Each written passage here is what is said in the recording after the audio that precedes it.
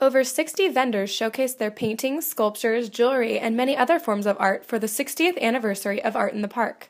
The event gave locals an opportunity to get publicity and to sell their work, as well as raise money for the Morro Bay Art Association. And our participation gives us the income to sponsor especially our scholarship show, which is money that we give to, it used to be high school and college kids. This year it was high school kids throughout the county.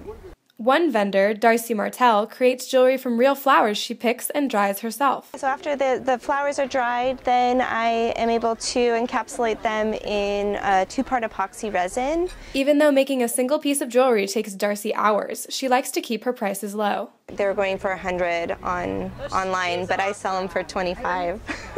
Just because I want people to be able to have them and enjoy them. Peter Eller has showcased his stained glass kaleidoscopes at Art in the Park for 20 years. He has had so much practice that he can make a small kaleidoscope in only an hour. I get a mirror and sheets of glass, so they're big pieces.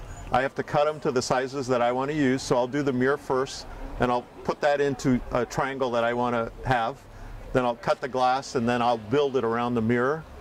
Deborah Bedlion makes her copper wrapped stained glass designs for the home and garden.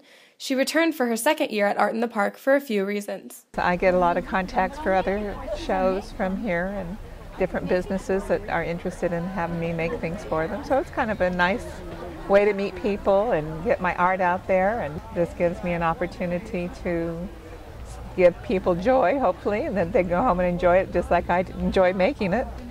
This is Laura Hoover reporting.